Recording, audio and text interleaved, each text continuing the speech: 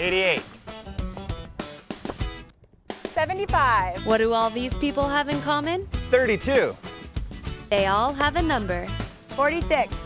A number of miles they were willing to go to get the right vehicle for them at the best price. 63. So what's your number? Make the drive and find out why we're one of the fastest growing Chevrolet dealerships in the West. Wild West Chevrolet, what's your number?